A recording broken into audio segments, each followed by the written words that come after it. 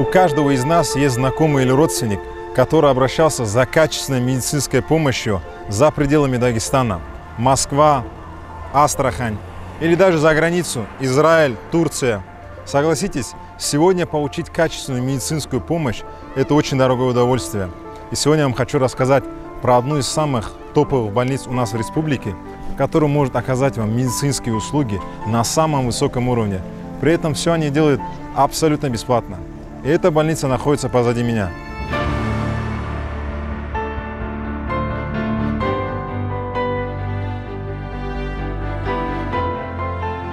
В данный момент больница перепрофилирована под ковид больных. И это уже, напомню вам, третий раз. И все услуги, которые оказывает данная больница, временно приостановлены. Сейчас же мы вместе с главврачом зайдем в красную зону и осмотрим всю больницу.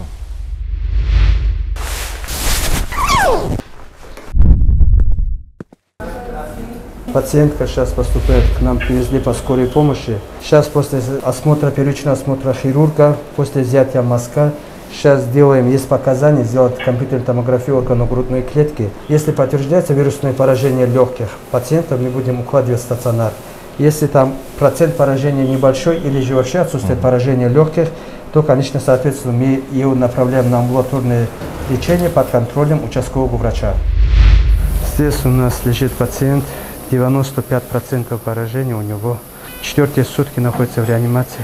Состояние более стабильное, но тяжелый. Сейчас 93 сатурация, 94 сатурация. Он на аппарате находится. Сегодня сделали ему и флейру 60 миллиграмм. Ну, Подкожно. Вот, подкожно, да, в ведро. Вот только вот сделали. Ага. А, гепаринотерапия с 1000 единиц в час круглосуточно она через инфузомат, да, да, через инфузомат подается. Ну, в общем, лабораторный контроль, все под контролем.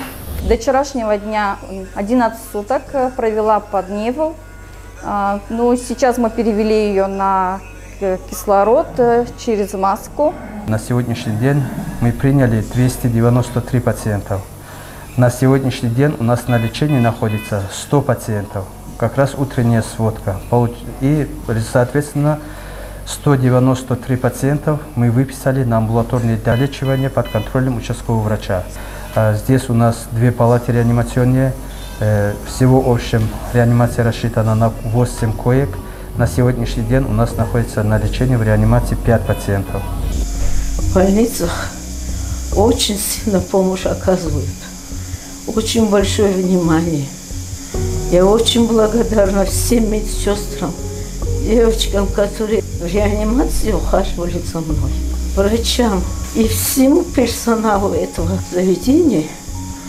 Спасибо им огромное за помощь и за то, что они нас таких безнадежных ставят на ноги. Я сейчас верю, я уверена, что я отсюда пойду здоровая домой. Нас здесь э, в структурном подразделении сейчас входят отделение хирургии, отделение гинекологии, отделение терапии, клиника диагностическое отделение и у нас есть э, поликлиника. Любой пациент, который к нам приезжает по полису, хочет лечиться, он берет 57 форму с места прикрепления и любые услуги он может у нас получить бесплатно. На сегодняшний день у Третьей городской больницы какие есть аппараты, может, возможности может предоставить для пациентов? На сегодняшний день у нас имеется компьютерный томограф, ферми General Electronic у нас рассчитаны на 126 срезов. Мы можем там проводить даже исследование сосудов, и даже сосудов сердца мы можем на этом аппарате проводить обследование. Есть у нас УЗИ сердца, есть у нас УЗИ внутренних органов, есть отдельно гинекологическое УЗИ у нас, а, есть УЗИ сосудов головного мозга, шеи, нижних конечностей, верхних конечностей. Есть холтер, СМАТ, очень хорошая клиника, лабораторная база у нас есть, где проводится весь спектр обследований, начиная биохимических, начиная гормональных обследований. Э, на данный момент за эти три с половиной года, которые мы функционируем, мы значительно расширили спектр выполняемых оперативных вмешательств, практически выполняя ну, все, можно сказать, вмешательства, которые у нас есть в хирургии начиная от патологии пищевода, желудка, толстой, тонкой кишки, а, соответственно, печени, поджелудочной железы, селезенки, почек, э, гинекология практически вся, э, урология, урологические операции. В том числе выполняется весь спектр хирургических операций по профилю онкология. Недавно я видел сюжет, в котором один австралийский профессор выложил научную статью об эффективности черного тмина против коронавируса. Когда я зашел на кухню этой больницы, я увидел, что в еду добавляют семена черного тмина. Чайная ложка тмина добавляем и чайную ложку чеснока.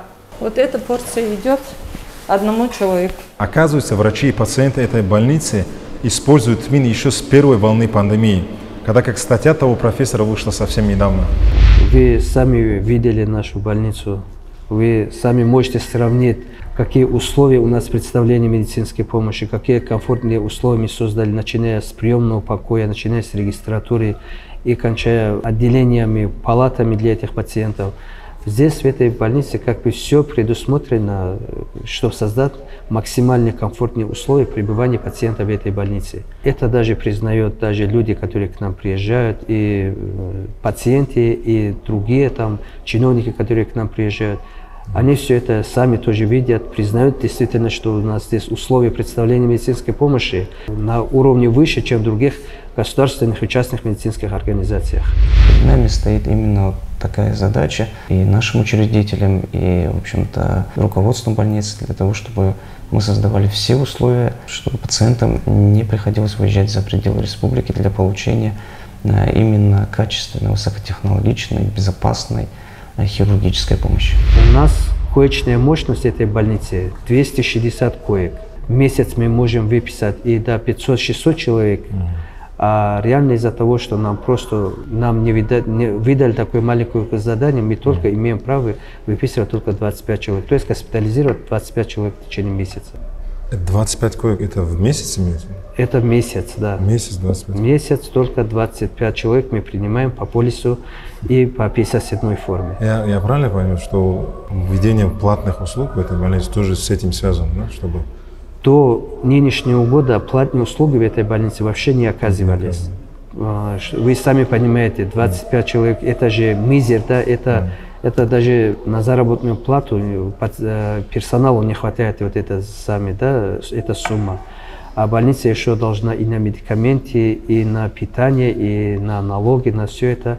Поэтому мы вынуждены были в этом мере, э, в, в этом году как-то существоваться и какое-то развитие дальнейшее получить, вести платные услуги. Это вопросы, которые не от нас зависят. Это вопросы напрямую зависят и от Министерства здравоохранения, от территориального фонда обязательного медицинского страхования.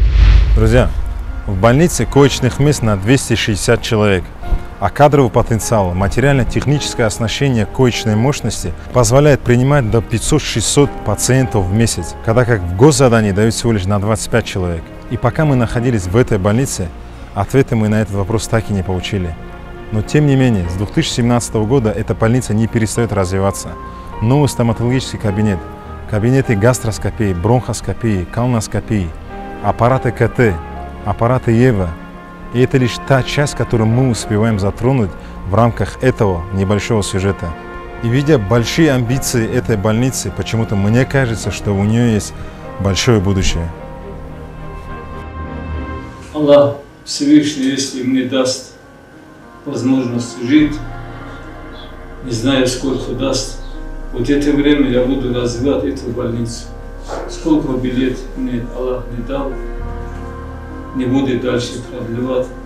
Я буду развивать эту больницу, чтобы наши дагестанцы ни в Ростов, ни в Питер, ни в Саратов, ни в Астрахань, ни в Москву и даже не в Турцию им ехать не пришлось.